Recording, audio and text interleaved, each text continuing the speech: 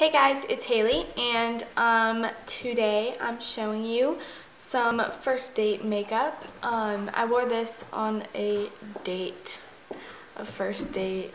So if you want to see how I did this look right here, then just keep on watching and I'll see you guys later. Bye.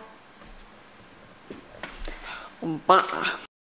Alrighty, so first I'm taking the Botanics moisturizer and moisturizing my face and then taking the Clinique All About Eyes eye moisturizer and rubbing that in under my eyes.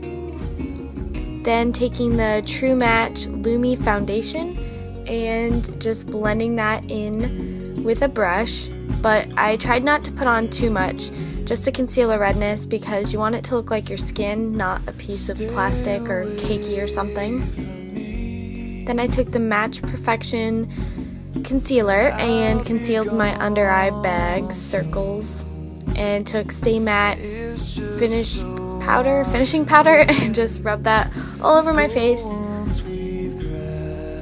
I primed my eyes with Urban Decay's Primer Potion, took a shimmery gold shadow, placed that all over my lid, and a cream shadow in a quad, and put that on my brow bone. Then I took a matte brown eyeshadow and just blended that in my crease until I felt like the color was built up enough and looked good. Next, I took my Lancome's Black Coffee eyeliner pencil and just put it on my lash line and put a little wing at the end. Then I finished the eyes off with the L'Oreal Telescopic Mascara and applied a couple coats of that.